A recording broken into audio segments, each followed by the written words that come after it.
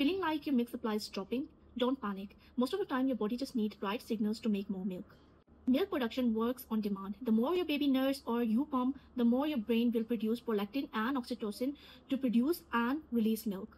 Now, here are the quick proven tips to increase your milk supply. Number one is pump or feed every two to three hours. This will signals your brain to produce more milk. Number two is check your baby's latch. A deep latch is equal to more milk. If your baby is latching properly, the milk will gonna transfer properly and then your brain will produce more milk. Number three is stay hydrated and eat balanced meal. Oats and flax seeds are scientifically proven galactagogues which actually increase or stimulates your milk uh, producing hormones. Number four is do as much skin to skin contact as you can. It will boost oxytocin. Number five is try power pumping technique. It is a pumping technique where you pump for 10 minutes and then rest for 10 minutes and then again pump for 10 minutes for and do this for like one hour. It signals the brain to produce more milk, like in cluster feeding. Avoid these simple mistakes. Don't skip feeds for more than four to five hours and or give formula top-ups early. Avoid stress, caffeine, smoking, and high sugar drinks. They block milk hormones.